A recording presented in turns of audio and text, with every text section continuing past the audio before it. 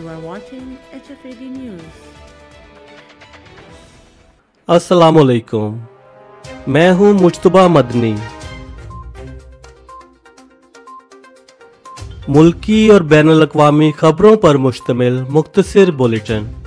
गुज्त रोज़ वज़ीर अजम इमरान खान की जेर सदारत वफाकी काबीना के अजलास में अरकान और सीनियर सहाफ़ियों को वज़ीर अजम इमरान खान ने पाकिस्तान हुकूमत के ख़िलाफ़ धमकी आमेज खत के कुछ मंदरजात की ब्रीफिंग दी।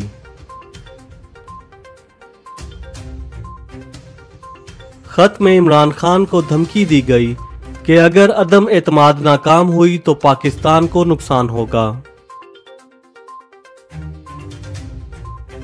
पाकिस्तान में तिरपन साल बाद नायाब काले हिरनों की आबादी में इजाफा।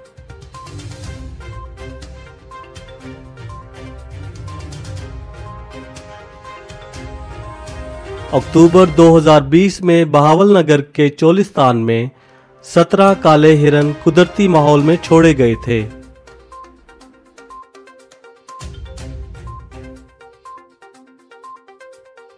जिनकी तादाद अब तेज़ी से बढ़ रही है। पाक आर्मी और पंजाब रेंजर्स की मदद से इलाके में कई मकामात पर चेक पोस्टें लगाई गई हैं।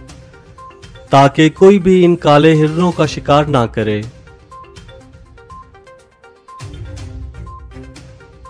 पाकिस्तान के नाम एक और एजाज। दुबई एक्सपो 2022 में पाकिस्तानी पवेलियन ने बेहतरीन बिरोनी डिज़ाइन पर बुर्ज सीईओ अवार्ड जीत लिया।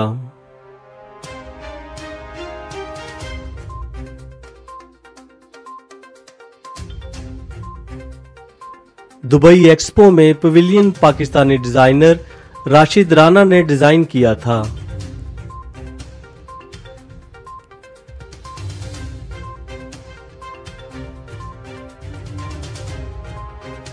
महकमा मौसमियात के मुताबिक आज बलाई खैबर पख्तूनख्वा, सवात, कश्मीर और गिलगित बल्तिस्तान में तेज़ हवाओं के साथ बारिश का इम्कान है।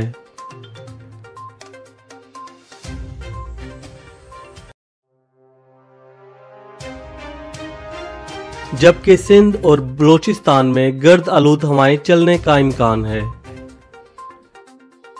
मजीद मालूम और वीडियोस के लिए हमजा फाउंडेशन के यूट्यूब चैनल को लाइक करें और बेल आइकन पर क्लिक करें। अल्लाह हाफिज।